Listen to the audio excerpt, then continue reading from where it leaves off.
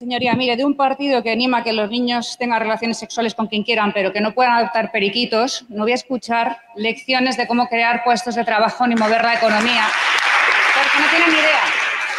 Y todo lo que hacen siempre es para arruinar, para colectivizar y para rogarse por todos los ciudadanos, empezando por todos los taxistas, lo que muchos, y yo lo respeto, creen que es mejor para el sector y, por tanto, yo voy a hablar con ellos. Sin ustedes delante que lo manipulan todo desde una pancarta en una residencia al dolor de una víctima, no voy a permitir que ustedes se arroguen defender al sector del taxi, al que ustedes arruinarían, porque para el sector del taxi lo primero que tiene que ocurrir es que haya empleo, que haya trabajo. Y en la Comunidad de Madrid, gracias a que no gobierna la izquierda, esto se lidera en España.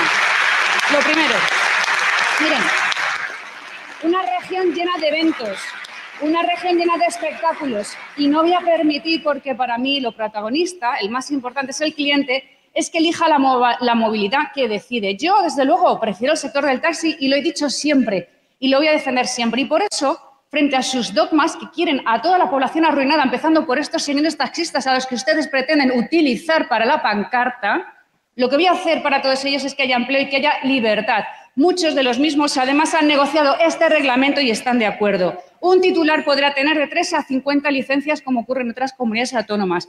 Vamos a poner en marcha líneas para que se sigan modernizando las flotas. Por ejemplo, para que los taxis puedan acceder a tener otros que ayuden a personas con movilidad reducida o para que los jóvenes puedan compartir el taxi y acercar esta modalidad de transporte que yo prefiero para ellos también. Miren, están también mintiendo cuando dicen que van a estar obligados a trabajar más.